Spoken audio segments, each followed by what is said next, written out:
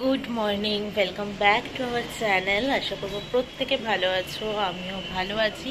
একটা প্রচণ্ড রোদ উঠেছে সেটা বুঝতেই পারছ। প্রচণ্ড রোদ উঠেছে আজকে। কাল অবধি একটুও রোদ উঠছিল না, আর এগুলো কালকে রাতে আমি রেখেই দিয়েছিলাম। এখানে ভালোই হয়েছে একদিকে, একটু রোদ খেয়ে গরম গরম হয়ে যাচ্ছে, আর কি জামা কাপড়গুলো একদম স্যাঁতস্যাঁতে হয়ে যায় তো, একদম ভালো লাগে না ওই জন্যে। যাই হোক না তো আমি এক বালতি ভিজিয়ে দিয়েছি, কিন্তু কাঁচতে যেতে পারছি না, কারণ ময়লার গাড়ি আসছে না, আর বলতে বলতেই চলে এসেছে। দেখতে পাবে কিনা জানি না, ইয়েলো কালারের গাড়িটা। তো এখন যাব ময়লাগুলো ফেলতে, কারণ ড্রাই ওয়েট দুটোই আমার জমে গেছে, আর আজকে মঙ্গলবার দুটোই আসার কথা। এবার দেখা যাক, ওই বাজাতে শুরু করে দিয়েছে, তো ফেলে দিয়ে এসে তারপরে আমি কাচতে ঢুকবো, কেচে কুচে নিয়ে তারপর আমি আজকে জানি না কেন সাতটা বাজতে দশ মিনিট আগে থেকে ঘুমটা ভেঙে গেছে। তো শুয়ে বসেই ছিলাম আর কি, তারপর পনেরো আটটা বাজে এখন। মোটামুটি ভেজানো হয়ে গেছে, আমি নিজে ফ্রেশ হয়ে গেছি। এবার যাব ডাস্টবিনটা ফেলে দিয়ে আসতে, এসে তারপরে কেচে কুচে ছাদে মেলতে যাব। প্রচণ্ড রোদ উঠেছে তো, দেখেই আমি আজকে ভিজিয়ে দিয়েছি। মোটামুটি আটটা কুড়ি টুড়ি বেজে গেছে এখন। তো কেচে তো এলাম, তার মধ্যে আজকে দুবার নিচে যেতে হয়েছে ডাস্টবিন ফেলার জন্য। প্রথমে অনেকক্ষণ দাঁড়িয়েছিলাম, ওয়েটের গাড়িটা এসেছিল। তাই আমি বললাম ড্রাইভার গাড়ি হয়তো আজকে আসবে না, কোনো অসুবিধা হতেই পারে। তো ওয়েটটা ফেলে দিয়ে চলে এসেছি, কাচলাম। কাঁচার সময় তো কল চলছে, আমি থুপছি, ওতে আওয়াজ শুন- শুনতে পাইনি। যেই না বাথরুম থেকে বেরিয়েছে, যে ওগুলো মেলে দিয়ে আসব। শুনছি বাজাচ্ছে, আমার তখনই সন্দেহ হয়েছে। আবার এসে দেখি হ্যাঁ ড্রাইভার গাড়ি এসছে। তো নিচে গেলাম, সিঁড়ি দিয়ে ওপরে উঠে এলাম আর লিফট পাঁচতলায় ছিল, ও যতক্ষণে নামবে আমি সিঁড়ি দিয়ে চলে আসব। ওই জন্য আমি হাঁপাচ্ছি। তো জাস্ট গাড়িগুলোও বেরোলো, আমি লাস্ট ফেলে দিয়ে আসলাম। একটু মিস হয়ে গেলে মানে বাথরুমেই থেকে গেলে ড্রাই গাড়ি আজকে চলে যেত। আর এক বস্তা জমে গেছিল আমার ড্রাই তো সব খেলা ফেলা হয়েছে বাবা, পরিষ্কার এই জায়গাটা এখন। তো যাব ছাদে, মেলতে একটু জল খেলাম এসে, বসে নিয়ে মেলে দিয়ে এসে তারপরে মামুনি পাপা, মা, বাবা সবাইকে ফোন করব। আর কি বাবা তো বেরিয়ে গেছে কাজে। বাবার সাথে এই টাইমটায় কথা হয় না। বাবার সাথে কথা হয় সন্ধেবেলা। তো এই আর কি। চলো মেলে দিয়ে আসি। আগে বেশি টাইম নষ্ট করে লাভ নেই। আজকে রোদ উঠেছে দেখে সবাই মোটামুটি কাজবে। আমি জানিও না ছাদে জায়গা পাবো কিনা। উইকডেজে সাধারণত লোকে কাঁচে না, তাই জন্য আমি ফাঁকা পেয়ে গেছি। আমার এরকম এক বালতি আছে, তো এটাকে নিয়ে আমি লিফটে উঠলাম। প্রচণ্ড ভারী হয়েছে। তো রোদটা আজকে দেখো শুধু, বাপরে বাপ। প্রচণ্ড রোদ উঠেছে তো চলো আর দেরি করব না, আগে মেলে দিয়ে নি। মায়া বুনু বিহারিণী, মায়া বনো বিহারিণী হরিণী গহন স্বপন সঞ্চারিণী, কেন তারে ধরে বারে করে পণ অকারণ? বন বিহারিণী। রবীন্দ্রনাথ, এই নামটির সাথেই যুক্ত হয়ে আছে আপামর বাঙালির গভীর শ্রদ্ধা, ভালোবাসা এবং আবেগ। তিনি ভারতবর্ষের প্রতিটি বাঙালির মননে চিন্তাধারায় অমর হয়েছিলেন, আছেন এবং থাকবেন। যতদিন বাংলা ভাষার অস্তিত্ব থাকবে, ততদিন রবীন্দ্রনাথ ঠাকুর আমাদের মধ্যে বেঁচে থাকবেন। আজ রবীন্দ্রনাথ ঠাকুরের জন্মদিন, আজ পঁচিশে বৈশাখ। মোটামুটি মেলে দেওয়া আমার হয়ে গেছে। প্রচণ্ড রোদ তো আমি পুরো ঘামিয়ে গেছি রীতিমতো। মোটামুটি একটা তার আমি আজকে মেলে দিয়েছি। তিনটে চাদরেই অনেকটা জায়গা খেয়ে নেয় না? তেমন কিছু জামা কাপড় কিন্তু ছিল না। তো ফ্যানটা চালালে আবার ঘ্যার ঘ্যার আওয়াজ হবে, তোমরা কিচ্ছু শুনতে পাবে না। তাই জন্য আবার পরে ঘরে গিয়ে কথা বলছি, আমি একটু রেস্ট নিয়ে নিই। আমাদের দুজনেরই ব্রেকফাস্ট রেডি হয়ে গেছে। এটা প্রমির, এটা আমার। তো চলো ওটা ওকে দিয়ে দিই আর আমারটা আমি খেয়ে নিই। ম্যাগির ওপরে আমার এরকম ধনে পাতা দিয়ে না খেতে খুব ভালো লাগে। কাঁচা পেঁয়াজের থেকেও আমার ভালো লাগে। যদিও ম্যাগিটা একটু বাটিতে নিলে ডিমটা একটু ঠিকঠাক থাকতো, ওই আর কি। ঠিক আছে, চলে যাবে।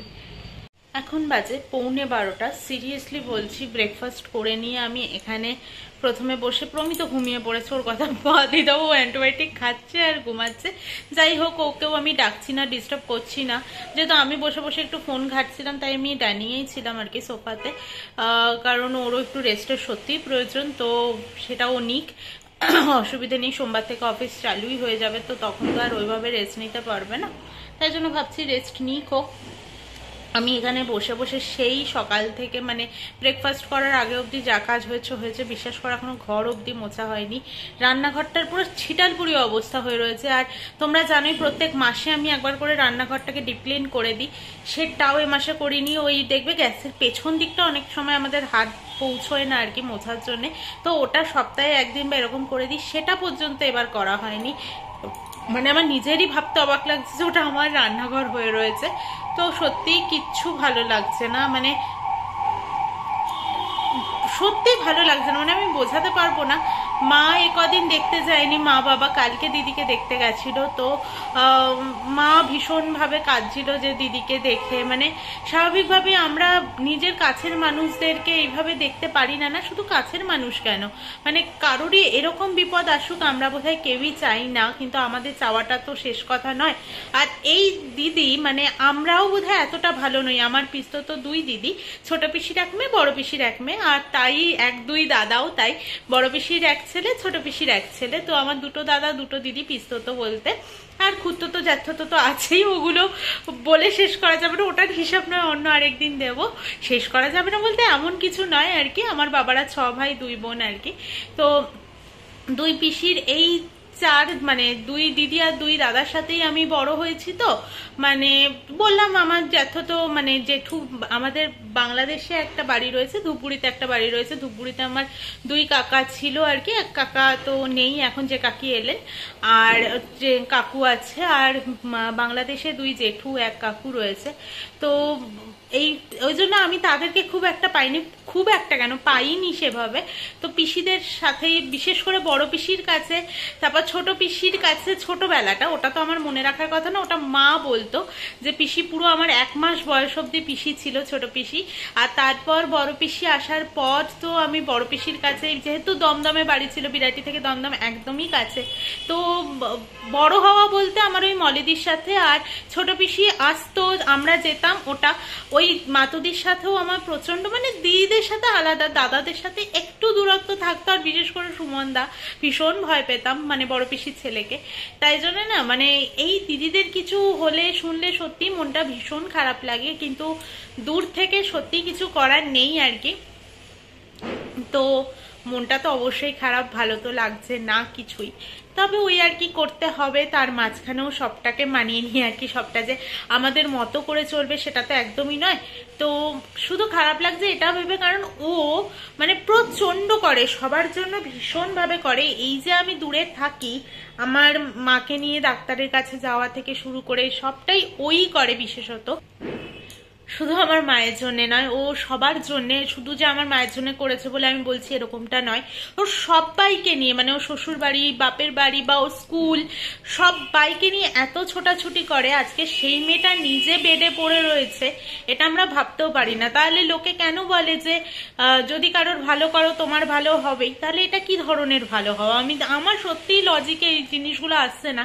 তাহলে যারা খারাপ করছে, তারাই ভালো রয়েছে বরং কবে আমার ভালো হবে সেই আশায় বসে থাকা, তার মানে এটা নয় যে আমি একজন খারাপ মানুষ হব, কারোর হেল্প করব না বা কিছু।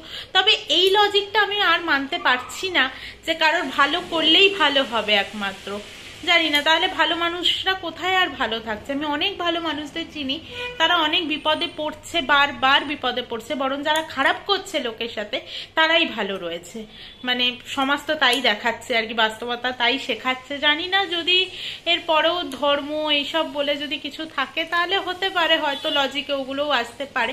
তবে আমার লজিকে আর আমি এগুলোকে বিশ্বাস করতেই পারছি না। মানে চোখের সামনে এত কিছু দেখছি যে আর এই জিনিসটার উপর ভরসা রাখতেই পারছি না যে মানুষের ভালো করলেই তোমার ভালো হবে আর কি। জানি না, সত্যি মানে মলিদির কিছু হওয়ার পর তো এটা আরোই বিশ্বাস করতে পারছি না। কারণ ও মানে আমি বলে বোঝাতে পারব না যে ও মানুষের জন্য ঠিক কতটা করে, লোকের জন্য কতটা করে, শুধু আত্মীয় স্বজন এটা নয়। মানে ও পরিচিত যারাই আছে না কেন, থাকে না আমাদের মাছ কাকু বা রিস্কা করে নিয়ে যায় আমাদের রিস্কা দাদা। তো সবার জন্য এতটা করে, তাই ওর কিছু হয়েছে, এটা সত্যিই ভাবতে পারছি না। আর চিরদীপটাও ভীষণই ভালো মানে ওর বর। তো সত্যি মানে এই কথাগুলো হয়তো তোমাদের সাথে বারবার বলছি। বিশ্বাস করো, আমার কিছু হলে আমি তোমাদের সাথে শেয়ার করি। সেদিনকেও তোমাদেরকে আর বলা হলো না ইনস্টাগ্রামে আমি তোমাদেরকে মেসেজটা কোথাও একটা দিয়ে দেবো স্ক্রিনে তো কমেন্ট করলে হয়তো তোমরা দেখতে পাও, কিন্তু ইনস্টাগ্রামে যেহেতু দিদি আমাকে মেসেজ করেছিলে, তাই জন্য। আর তোমরা অনেকেই আমাকে মেসেজ করো যে তুমি আমার থেকে ছোট, তাই জন্য তুমি বলছি, আমি তোমার আন্টির মতো, তাই তোমাকে আমি তুমি বলছি।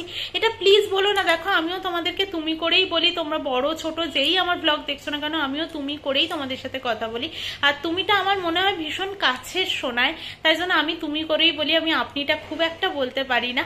তো হয়তো এটা উচিত নয়, কিন্তু আমি পারি না। কি করব বলো? না মানে আমি যদি ঠিকভাবে কথাই না বলতে পারি, তাহলে তোমাদের কাছে অবধি আমি পৌঁছতে পারব না। তো তাই জন্য যাই হোক কমেন্ট আমি তোমাদের পাশে কোথাও একটা স্ক্রিনশট দিয়ে আমি দিয়ে দেবো আর কি। আমার ভীষণ ভালো লেগেছে, তোমরা এইভাবে পাশে থাকলেই হয়তো আমি এগিয়ে যেতে পারব। আর আমি চেষ্টা করি রোজ ব্লগ দেওয়া। তুমি বলেছ যে রোজ যেন এরকম ভাবে রেগুলার ব্লগ দিই। অন্তত তোমাদের কথা ভেবে দিই। আমি জানি না তুমি এই ব্লগটা দেখছ কিনা বা দেখবে কিনা।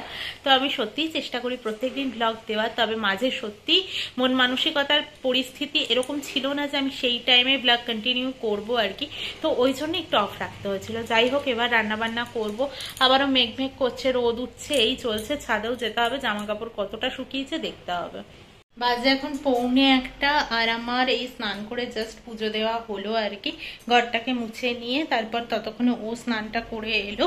তারপরে আমি গেলাম স্নানে, তাহলে না গিজারের সুইচটা দেওয়া থাকলে একেবারেই হয়ে যায়। একটু লেট করে গেলে গিজারের জলটা আবার ঠান্ডা হয়ে যায়, তাহলে আবার করতে হয় গরম। তো এখন করব রান্না। রান্না বলতে আজকে কালকে একটু ইচড়ের তরকারি আছে, একদম অল্প এটুকু এটুকু করে হয়তো দুজনের হয়ে যাবে। আর ভাবছি আজকে একটু পেঁপে সেদ্ধ দেবো, আর চিংড়ি মাছটাও টিফিন বক্সে করতে বলল। তো ওই জন্যই আজকে কোনো হ্যাপা নেই যেরকম। ওই জন্য তাড়াতাড়ি কোনো ব্যাপার নেই, ভাতের মধ্যে টিফিন বক্সটা বসিয়ে দেবো ভেবেছি। এই আর কি। তো চলো করে নিই তাহলে আমি এগুলো একটু আগে গুছিয়ে নিই, তারপরে রান্না করব। পৌনে একটা বাজে, হয়ে যাবে আমার দেড়টার দিকে। এখন বাজে সন্ধ্যে সাতটা আট, দুজন একটু ছাদ থেকে হেঁটে এলাম। যেহেতু ডাক্তার ওকে বলেছে একটু হাঁটতে চলতে, তো ওই জন্য একটু হাঁটাটা দরকারও ছাদ থেকে। আর তারপরে এসে সন্ধেটা দিয়ে নিয়ে তারপরে আর দেখো, আজকে আমার খেতে বসার আগে আমি জামা কাপড়গুলো নিয়ে চলে এসেছিলাম, সবটা শুকিয়ে গেছিল। তো আর অসুবিধা হয়নি, আর ওর জন্য র চা বসিয়েছি আর একটু মুড়ি মেখে নিয়েছি। এটাই খাওয়া হবে। আর সন্ধ্যেবেলা টিফিন হিসেবে আর চাটা হয়েও গেছে, নামিয়ে নিই প্ল্যান ছিল রাতে রুটি করার, কিন্তু ও হঠাৎই বলল, না, সেদ্ধ ভাত খাব। ওই টাইমে সেদ্ধ ভাত খেতে খেতে না কেমন যেন জিনিসটাকে ভালোবেসে ফেলেছে। একটা টাইমে ও খেতেই চাইতো না। তো ভাতটা আজকে আলাদা করেছি। আর কুমড়ো, ঢ্যাঁড়স, আলু এগুলো সেদ্ধ দিয়েছিলাম। আর সাথে ডিম ভেজে নিয়েছে। আমারটাও তাই রয়েছে। তো চলো ডিনারটা কমপ্লিট করে নিই খাওয়া দাওয়া তো কমপ্লিট হয়ে গেছে। আজকের মতো ব্লগটাকে এখানেই শেষ করে দিচ্ছি। কালকে আবারও আসব একটা নতুন ব্লগের সাথে। আশা করি এই ব্লগটার কিছু অন্তত তোমাদের ভালো লেগে থাকবে। যদি ভালো লেগে থাকে তাহলে প্লিজ সাবস্ক্রাইব করো পাশে থেকে লাইক করো শেয়ার করো কমেন্ট করে জানিও তোমাদের কেমন লাগল। আজকের মতো টাটা গুড নাইট